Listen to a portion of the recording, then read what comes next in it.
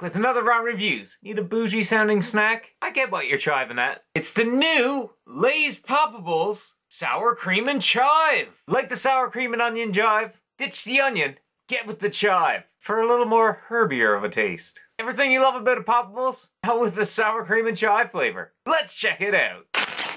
One thing about the Poppables, they're a super fun looking snack. Definitely a cool vessel for flavors. Pretty good smell going on? Let's crunch in.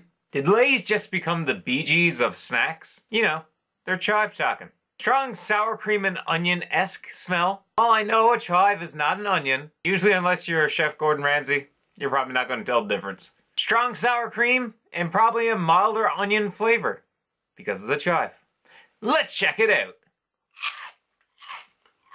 A slightly airier crisp to the actual poppable. I love that. And yeah, kind of basically what I said. The onion flavor is pulled back a little tiny bit and a bit more sour cream. Not exactly rewriting the book on flavors here, but sour cream and onion flavor, chive. It's classic.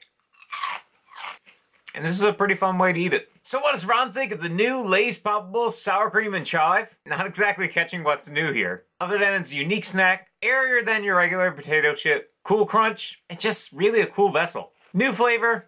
Not really. Ron's giving this one 8 out of 10. Marketing at its finest. I found this at Sobeys, but you can basically find them everywhere now. It's been another quick round of reviews, and see you guys next time.